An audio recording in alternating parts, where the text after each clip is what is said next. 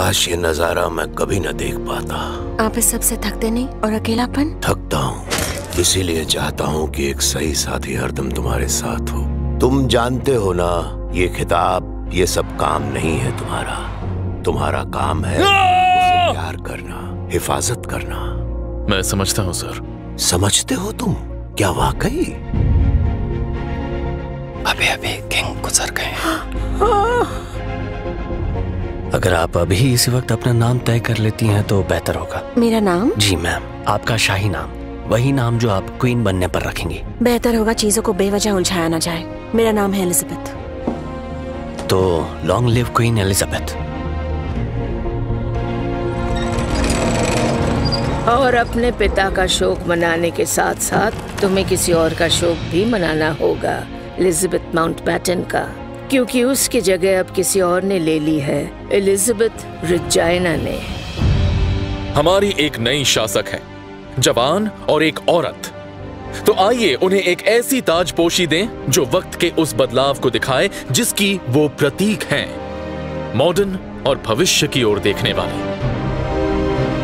उनकी तारीफ़ करनी पड़ेगी। विंस्टन अब भी सोचते हैं कि वो राष्ट्रपिता है। पार्टी को मेरी ज़रूरत है देश को मेरी ज़रूरत है उन्हें मेरी ज़रूरत है। आप जितना कम करेंगे कम कहेंगे। सोचेंगे महसूस करेंगे सांस लेंगे या ज़िंदा रहेंगे। बेहतर होगा। पर इसमें मैं कहाँ आती हूँ? आमतौर पर इस मुल्क में किंग्स की तुलना में क्वींस बेहतर रही हैं और मुझे लगता है आप पर भी वही बात लागू होगी। मैं अच्छा करने की पूरी कोशिश करूँगी। मैंने भी की थी। ज़ाहिर है वो काफ़ी नहीं थी। हाँ। तुम दोनों सबसे पहले बहने हो और कभी भी एक दूसरे को मायूस मत करना। तुम्हारी बहन दुनिया की सबसे मशहूर महिला बन गई हैं। पर मैं सबसे लकी हूँ। पीटर टाउनसेंड एक आम आदमी है एक तलाकशुदा आम आदमी। याद रखना कि मेरे जाने के बाद तुम किसकी जगह ले रही हो? मेरी बिना शख्सियत वाली बहन। तुम्हारी क्वीन कोई नौटन की बाज नहीं। मैंने आज यहाँ वो मंजर देखे हैं जो हमने बमबारी के खौफनाक दिनों के बाद से कभी नहीं देखे।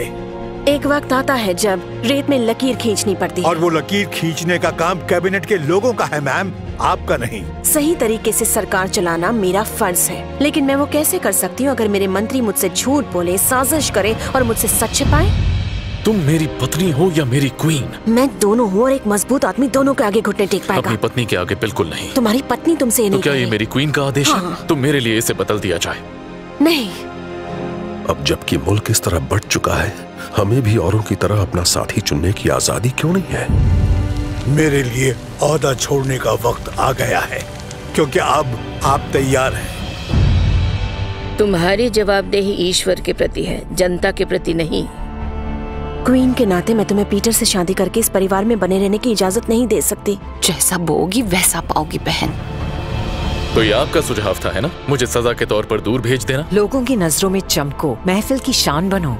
पर सबको अफसोस और मायूसी हुई कि केवल एक इंसान जिसे मैंने कभी प्यार किया वो तुम हो। मैं सिर्फ़ मदद करना चाहती कैसे मुसीबत को नाव में ऑस्ट्रेलिया भेजकर और उम्मीद करके कि वो खुद ही सुलझ जाए या बेहतर है डूब जाए? ऐसा भी हो सकता है कि तुम्हें वहाँ मज़ा आए। धोखा देने को एहसान का नाम मत दो। हम जानते हैं कि हम ऐसे लोगों से घिरे हैं जिन्हें लगता है कि वो ये काम हमसे बेहतर कर सकते हैं। मज़बूत लोग, ताकतवर शख्सियत के। पर अच्छा हो या बुरा, ताज हमारे सिर पर आ पड़ा है।